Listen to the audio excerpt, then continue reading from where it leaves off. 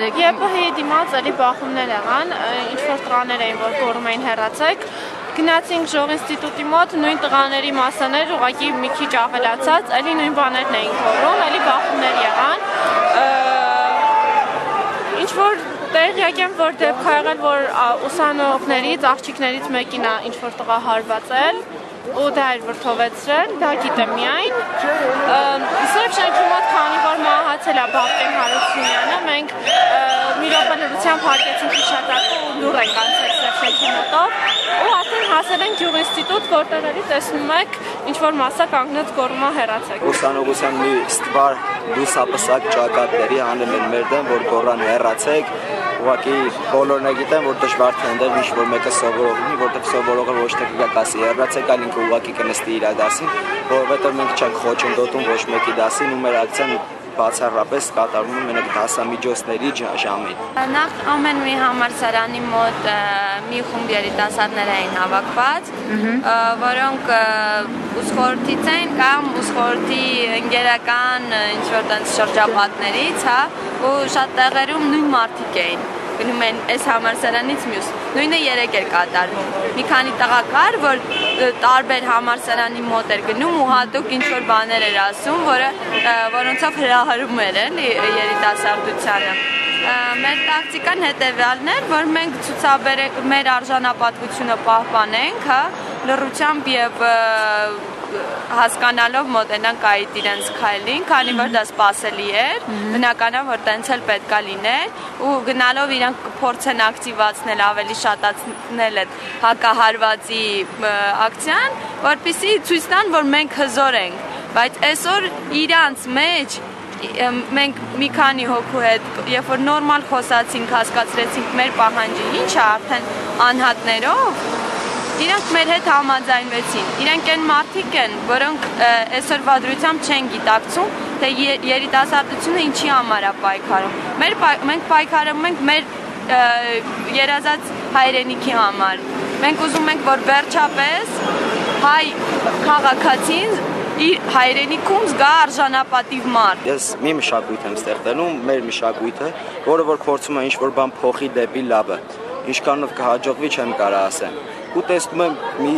ճակերտավոր մշակույթ, որը որ չի ուզում ինչ որ բան փոխել ընդեպի լավը, այլ ընդհակառակը ուզում է մնա հինին, վատին, ինչպես միշտ։ Ուղղակի այնտեղ որ ասում եք ուսանողական խումբ, այդքան էլ ուսանողական խումբ չի, որտեղ վստահ եմ այնտեղի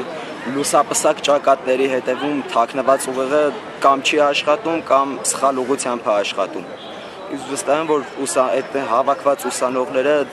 դա կարող է դաշը դասախոսների անունները չգիտեն։ Համասարանի ներսում բոլորս էլ գիտենք, որ խորհուրդների մեծամասնությունը քաղաքականացված է, հանրապետականներ են ու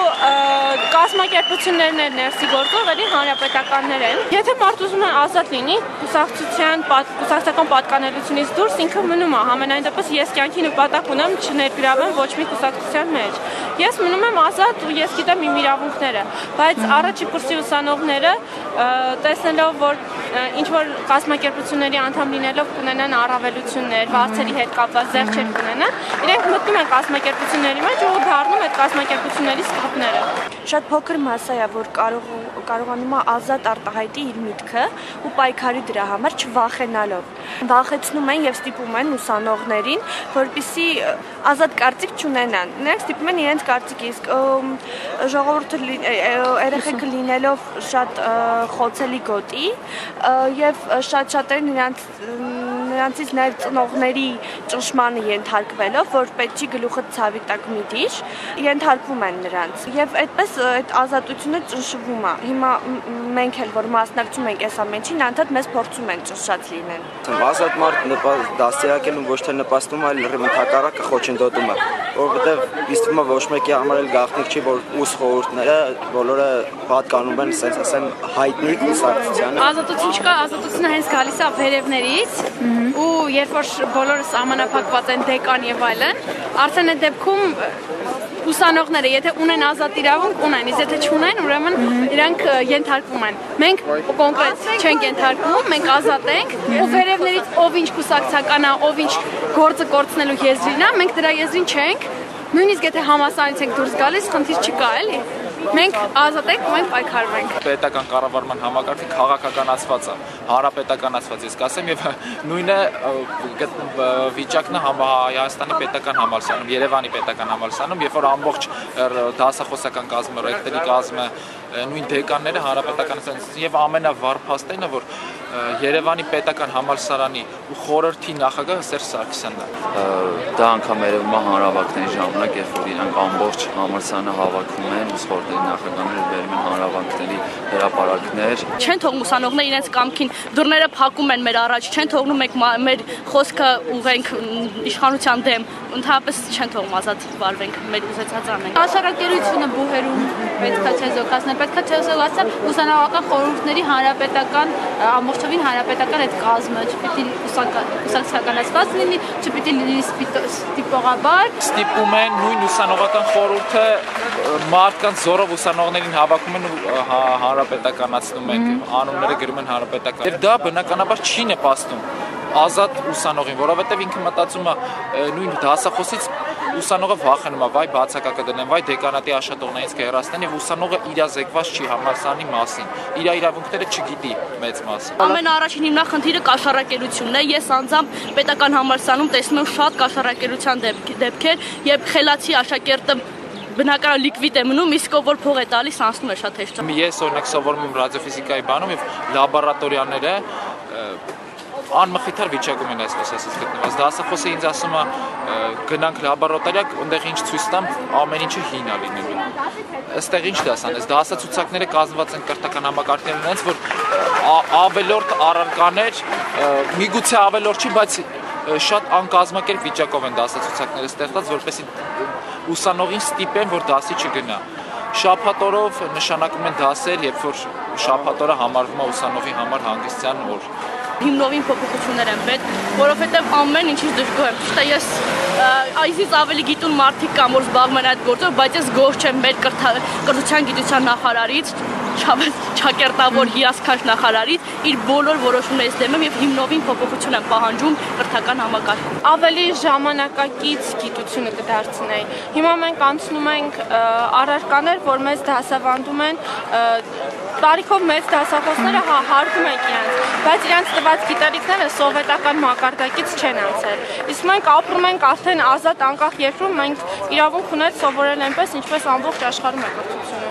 կրթության ձևը, այն կաղապարը, որ դնում են, երբ որ դու կարող ես ավելի ազատ մտածել, ճիշտ կրթվել, բայց ինչ որ կաղապարների մեջ են դնում, երբ որ դու դուրս ես գալիս, նոր հասկանում ես ինչքան ավելի շատ բան կարող ես սովորել։ Հետո այսօր, եթե դու սովոր ունակ ես, կարող ես ինքդ նույնիսկ ինքնուրույն կրթություն ստանալ։ Այնքան կաղապարվածությունը շատ է մեր ուղեղի, մեր կրթական համակարգի, որ մենք կարող ենք առանց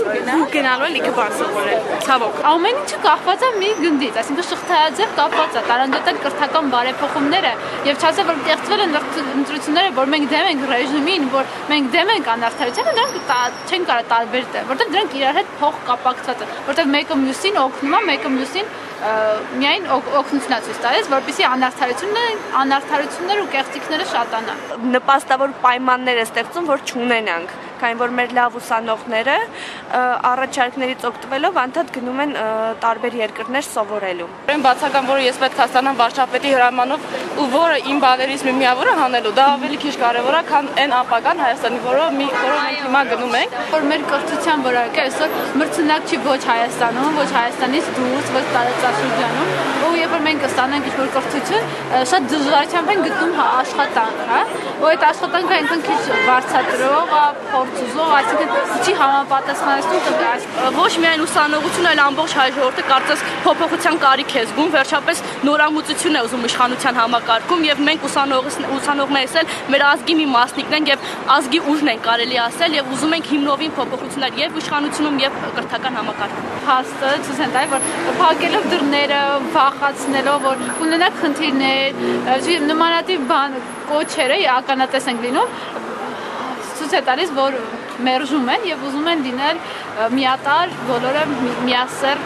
զանգված են ուզում լինել, ոչ թե անհատ ուսանողներ, որոնք ունենան իրենց սեփական կարծիքը։ Կփոխե մենակ այն, որ ուսանողներին շատ չդնեն կաղապարի մեջ, որ պետքա գաք, մենակ դասանը գնաք, չնայած մենք ունեցանք դասախոս, հենց ում դասին, որ մենք հիմա նստած ենք, ինքը մեզ ասեց, ճիշտ է, ես էլ չեմ տալի, բայց գնացեք ու պայքարեք, որովհետև ձեր սերունդը պիտի պայքարի։ Ցույցի մեջ այն օրը նայում էի, այնքան լավ երեխեք կային, այնքան համարցակ ու ոնց որ այն մեր կարդացած այն ֆիդայների պատմությունների մեջից իրանք դուրս եկած լինեին։ Եթե իրանք նմանները շատ են, ես իրանք հետ կպայքարեմ։ Եթե չէ, անկեղծ ասած այնքան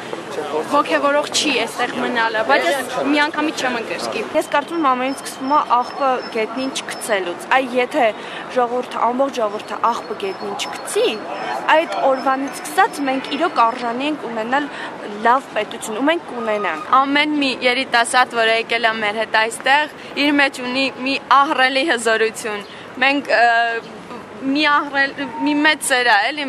ոնց որ մեր մեր միջև տիրում մենք իրար այնքան դրական ենք վերաբերվում, որ հիմա պատրաստ ենք գնանք գրկենք այն երիտասարդներին, որպիսի իրանց էլ մեր սերը փոխանցենք որովհետև մենք սիրում ենք հայրենիքը ու մենք այսօրվա դրությամբ անջրպետ չենք դնում մեր ու իրանց միջև, քանի որ իրանք այն մարդիկ են, որոնք վաղը մյուս օր կմիանան մեզ։